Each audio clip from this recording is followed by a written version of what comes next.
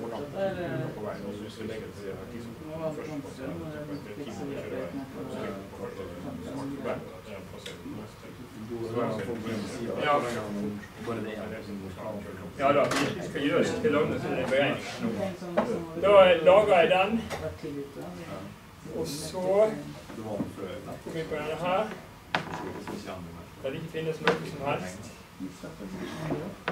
De starter sikkert sånn nå.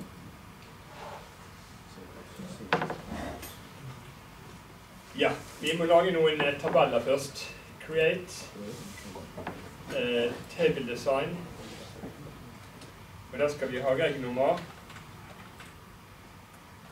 Og det lar vi være en tekst. Og så skal vi ha tid, tidspunkt. Og det lar vi være en date. Da er vi fornøyd med den. Den skal hete reg 1.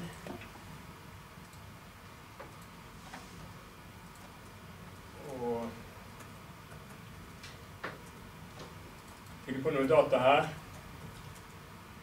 UR1 plassert ved tidspunkt 100. Eh,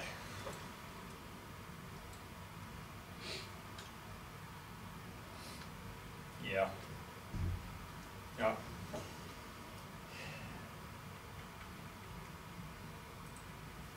Da foreslår jeg kanskje at vi gjør sånn. Og så lar vi en første versjon der tidspunkt er number.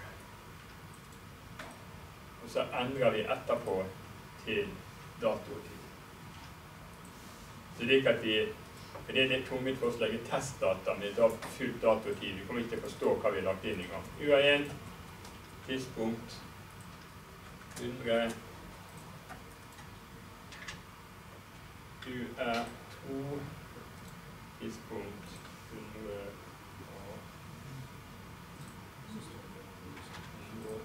3 ZE 1 110 UR3 115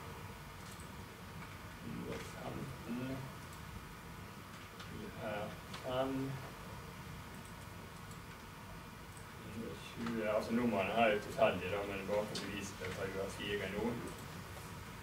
21. ZD det er biler som bare passerer eh, bomstasjon 1.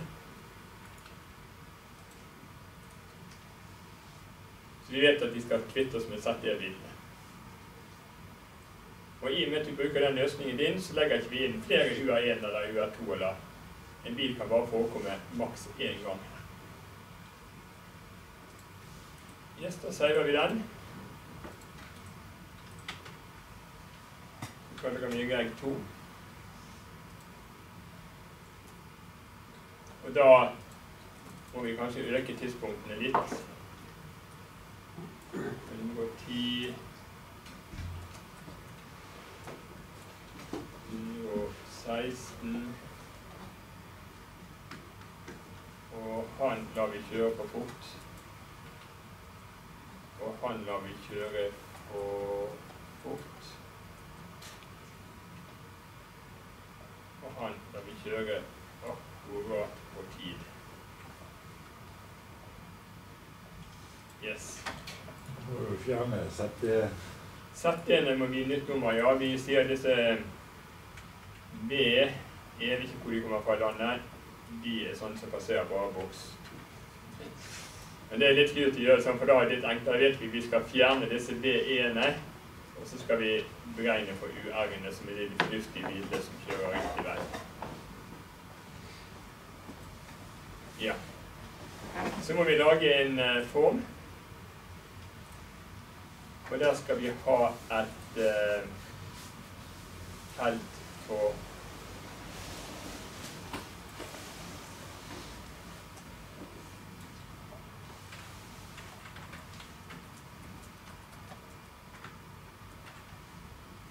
avstand.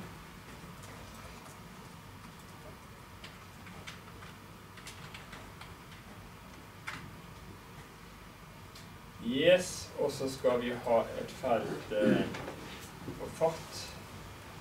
Fartsgrense.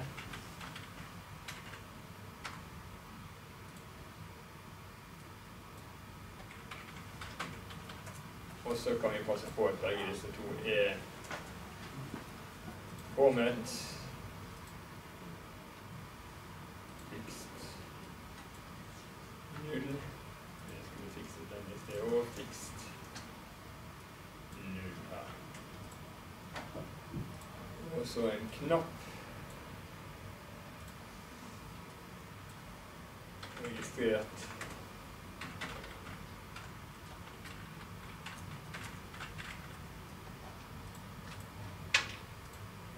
Og kun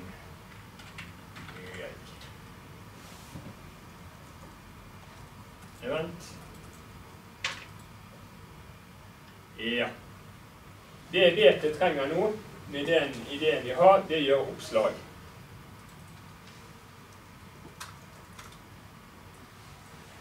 Og da lager jeg noen eh, supper her.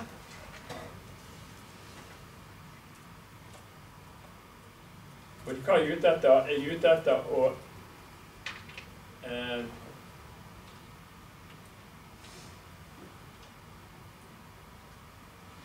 Ja, vent litt. Nå må vi tenke litt. Er vi, eh, vi kan passe på at en bil ligger bare én gang i en fil.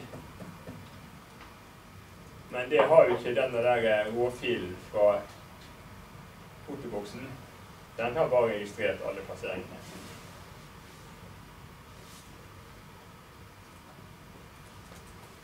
Så reg 1 og reg 2, der ligger jo samme bil mange ganger, sånn som vi dessverre hadde her i sted.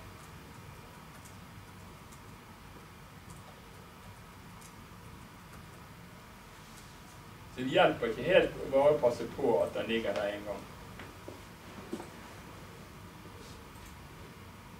Ser dere det? Altså Fotoboksen er dumme. Og de lager bare tekstfiler. Sender det på nett. Bare registrerer alle bilpasseringer fortløpende. Så det vi kan gjøre, selvfølgelig, vi kan lese den filen. Og så kan vi gjøre disse, lage en ny fil med bare én passering, eller vi kan bare sjekke om det er siste passering. Vi kan ikke påvirke den filen. Det er en input-fil som vi har fått fra fotoboksen. Vi kan gjerne si at de fotoboksene burde være smartere og bare registrere siste tidspunkt. Da må vi kanskje tilbake til den løsningen jeg snakket om i sted.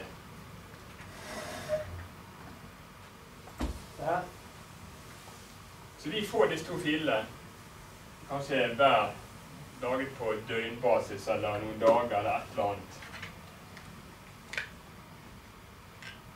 Det vi skal gjøre sortere på tid. Ok, hvordan reg 1 se ut? Jo U er, Nå tar jeg de dataene. 1, 2, 3. Tidspunkt 100. Og Z er 2. Tidspunkt 100. U er 1. Tidspunkt 115. U er 2. Tidspunkt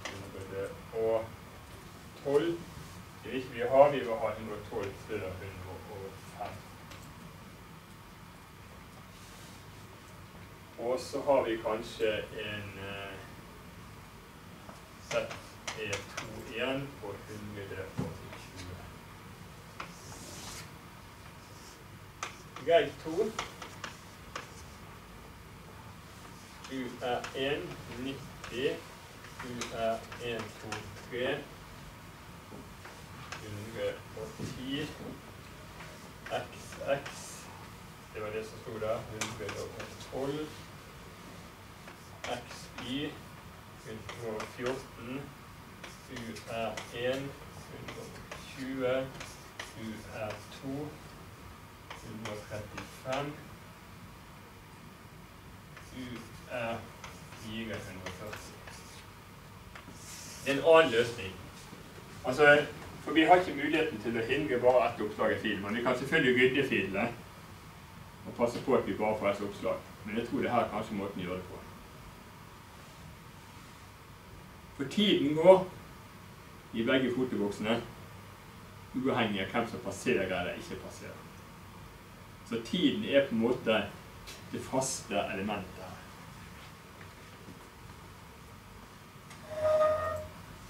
Det var en liten ting i sted også, et unntak fordi feilregistrering går jo an. Men det vil sannsynligvis bli det samme som en bil som bare passerte passert boks 1 eller bare boks 2. Hvis, den, hvis det er et dårlig bilde på boks 1, og vi får feil bilnummer, så vil vi se at den bilen aldri passerer boks 2. Hvis ikke da vil de ha feil bilnummer begge steder, men i så fall er det, det er en annen fyr som får boten. Og det er jo av og til et problem. Ok, la oss si vi gjort det her.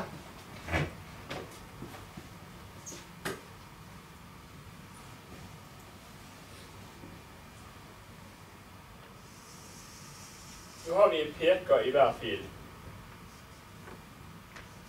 Så sammenligner vi de to.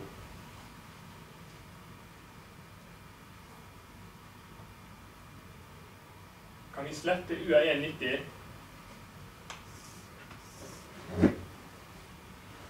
Ja. Altså Det er klart, det oppgaven her er ikke helt realistisk. Men jeg sier vi registrerer alle disse data i filer, og så kjører vi programmet slutten av dagen. Da har vi allerede brutt loven med at ting skal slettes med en gang. Så godta det. Det vi egentlig burde fått, var input fra hver enkelt boks. Og da kunne vi brukt det prinsipp. sant? Må hele tiden ha en fil over passeringer. Men vi klarer ikke å simulere det så veldig lett, for vi har ikke kobling til noen bokser. altså. Så det er vårt problem. Så vi må gå ut fra at vi har disse filene. Vi, vi ser at vi har tilpasset loven sånn at fotoboksene lager filer. Og så får vi de filene hvert døgn, og så kjører vi programmet etter vi kjører programmet, så slettes dataene. Men det, jeg, vet, jeg tror loven er at du skal fjerne dem med en gang. Så på mange måter så må fotoboksene bare på internett, og da må du ha et program der du får inn en og en fil. Men det har ikke de mulighet til. Det var bare som en påstående datalagringsdirektiv. da. Ja, vi får, vi, da får vi ha seks måneder. Så. Jeg vet ikke om det er implementert. Altså, jeg har lest at du skal slette de dataene når de ikke lenger er aktuelle, men det betyr i det øyeblikket du har passert boks 2. Eller betyr det når det programmet blir kjørt? Nei, vi, vi får tolke det som når programmet blir kjørt. Men hvis det ikke blir bot, så kan du bare slette med en gang. Men hvis det er får bot, så må du nå ha en, Ja, da, et får- rekord på. Ja, da, men da blir det registrert i evig. Altså helt til du har betalt, og du skal ha en, eh, Mm. straffepoeng og hele greia. Så det, det er, da er du registrert for nesten i hvert fall i fem år fremover, inntil de poengene dine blir uaktuelle. Eller seks år, eller hva det er. Hva heter det? Det heter sånn ja, prikkbelastning. Prikker. Men altså, poenget er at han har kjørt helt lovlig, 10 km, 6 km i timen, passerer boks 2, han skal slettes. Men spørsmålet er med en gang. I Derfor må fotoboksene ha et kommuniserende program som hele tiden ajourfører det her. Men vi sier at etter vi har kjørt fil, skal vi ha fjernet. Så det vi gjør her, at når vi får reg 1 og reg 2, passeringer i går eller forgårs, så kjører vi programmet, og så sletter vi reg 1 og reg 2. Men vi beholder resultatfilen for bandittene. Sånn tolker vi det. Men nå er, står det 100 der og 90 der. Er det noen som er uenig i at jeg kan fjerne den? Eller det vil si, jeg fjerner ikke den, jeg flytter bare kursor ned hit. Det går én post frem i den filen. Jeg gjør ingenting med UR190. Det er ingen som er uenig i det, sant?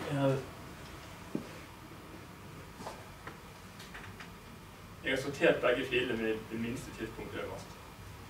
Siden eh, det er det minste tidspunktet der, og det er det minste tidspunktet der, så vet jeg at jeg har ingen poster fra UR1.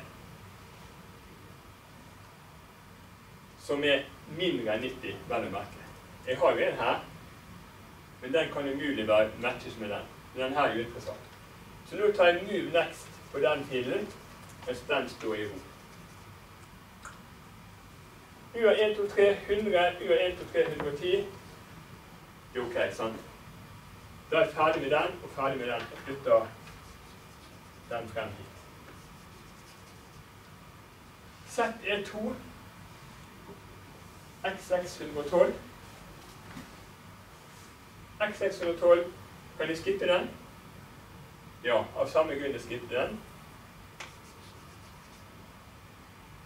X714, kan jeg skippe den? Yes. Eller kan jeg tenke meg at XY er gjemt her.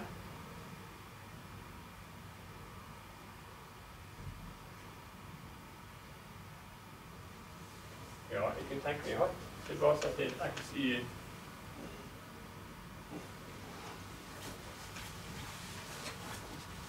Kan jeg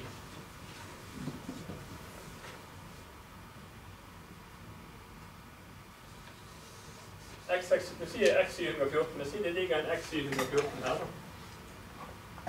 Nei. Så enkelt er det ikke. Jeg kan ikke skippe X714.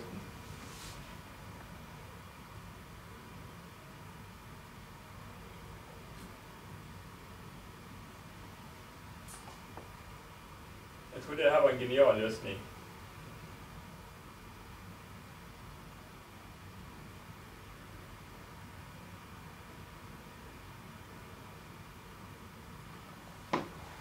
Ja, men Igjennom på den eh, ZT2 der, og ikke finner en mesh, så går du videre på eh, XY. Hva sa du? Når du går igjennom eh, ZT2 på vei 2, og ikke finner Ja, jeg kan ikke passe det så kan, du- kan du stryke den. Og så går du videre på neste. Jo, altså- siden det står 114 der og 100 der, så kan den ZD2 komme lenger her nede, så jeg kan på en måte ikke skippe den sant? Altså jeg tenkte nå var jeg veldig dyr og skulle så på tidspunktene, men det holder ikke helt det heller. Så jeg. Hvis du går på registreringsnummeret først, da, så finner du maken med registreringsnummeret. Så, for de vil jo ligge øverst, i og med Ja. at eh, den er sortert på timing. Da. Vi må ta eh, sorter på registreringsnummer. Og søke den. Og da er det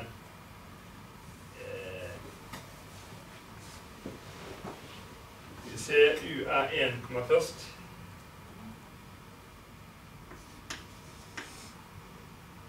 Hvor finnes UR1 med 112 og 115? Yes. Og så er det UR 1, 2, 3 med 100. Og så er det ZE2 med 100.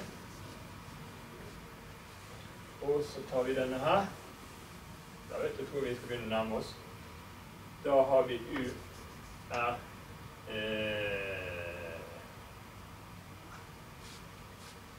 A2. Vi legger inn A2 her med 110.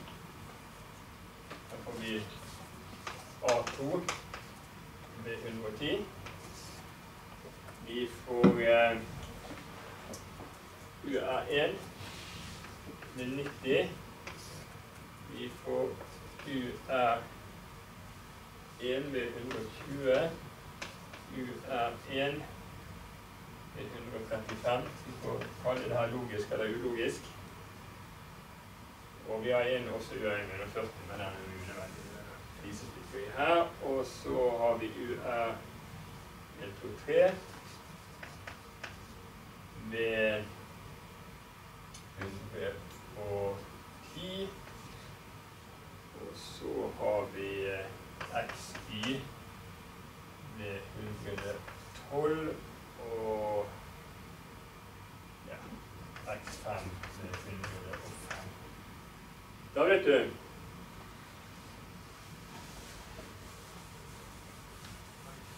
La plasser.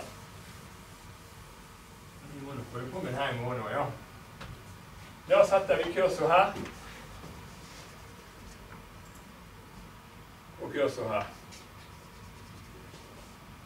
Altså det samme next. Vi ser på de to rekordene. Hva betyr det her? Hva skal vi gjøre nå? A2 finnes ikke i den filen vi flytter frem har en move next på den. U er 190, U er 112. Nei. Man kan ikke ha kjørt på minushastighet. Så her er det altså en feilregistrering eller en ekstra passering et eller annet. Så vi må hoppe over den nå. U er 120 mot U er 112.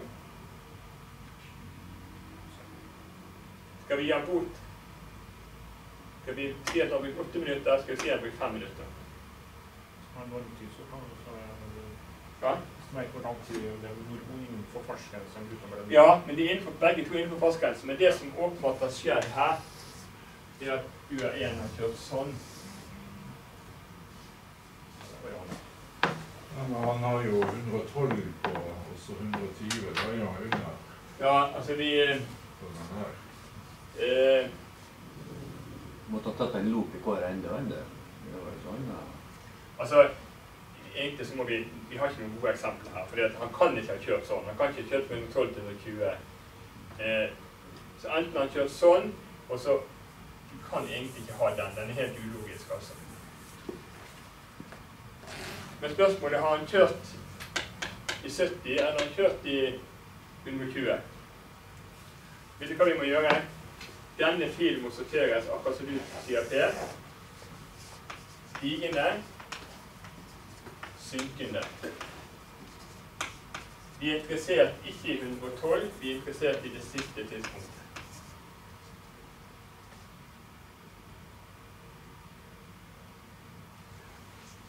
Og nå kan vi sammenligne, nå har vi sammenligner vi den med den. Det siste passering der før den bot. U1, 112, 120. Vi må skippe den. Det er altså en ekstra passering. Altså, på en av dem, kan selvfølgelig sortere 112 før 115 og så se på neste. Men nå, når vi gikk bort, så har vi tatt den ut av filen, og den, det vil si at vi kom ned hit. Og da har vi UR1 her og UR123 der. Da kan vi flytte den frem dit. Og den er ultrason. Og nå har vi 123, tidspunkt 100, 123 ved tidspunkt 110. Det er helt i orden. Vi flytter kursen frem dit og kursen frem dit. ZT2 og XY. Vi vet altså at eh, her er XY foran ZE i alfabetet. Så det kan tenkes at det kommer noe ZE nedi her. Altså må vi flytte den frem. X5 finnes ikke her. Vi flytter den frem, og så sammenligner.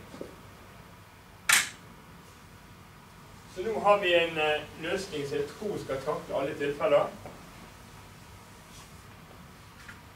Det er 1 T reg 1 på stigende regnummer synkende tid. 2 sorter reg 2 på stigende regnummer og så mener jeg stigende tid. Hvis samme bil er passert to ganger, er vi interessert i siste passering her. Så. Hvis samme bil er passert to ganger, er vi interessert i første passering. Altså, hvis han har kjørt sånn to ganger på vei to, det er den første vi er interessert i. Den laveste tiden. Man skal ikke kunne unngå en bot ved å kjøre gjennom en gang til. Og motsatt her borte. Han kjørte sånn. Skal ikke kunne lure oss i den siste tiden vi tar, og den første tiden.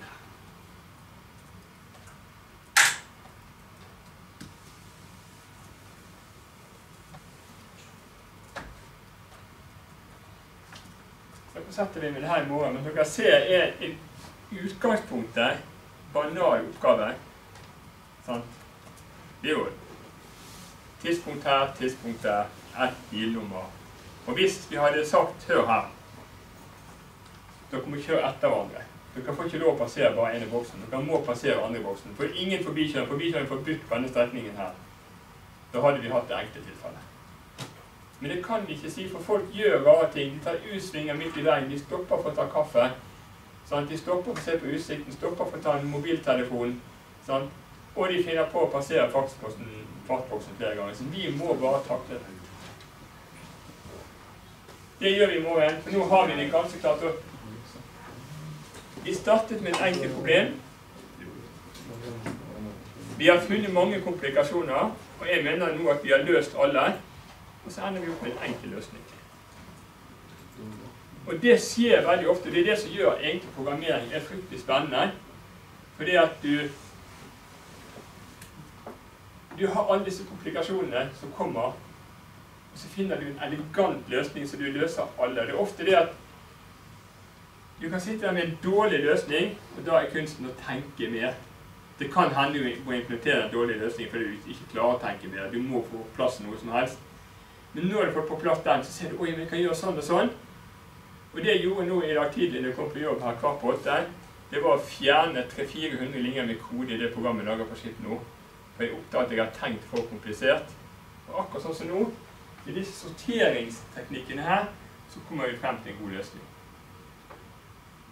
Så sortering er på en måte nøkkelen her, og litt forskjellig sortering. Og det er som du sier, sortere på bilnummer er veldig viktig, fordi at når vi er ferdig med en bil, så er vi ferdig med en bil. Men vi er ikke ferdig med et tidspunkt. Da må vi se nedover, for det, det kan jo hende at den bilen her passerte litt seinere, og da må vi sjekke sånn, var det under ti minutter. Så kunsten er sortering begge veier. Først på bilnummer, deretter på tid. Og her er vi interessert i den siste tidspunktet, og her er vi interessert i det første tidspunktet om vi har passert flere ganger. Yes, men det her fikser vi i morgen. Nå er vi i programmering, tror jeg skal bli ganske rett frem. Vi legger inn noen tester. Og så etterpå det så skal vi eh, takle dette her med dato og tid og sånne ting. Nå har vi disse enkle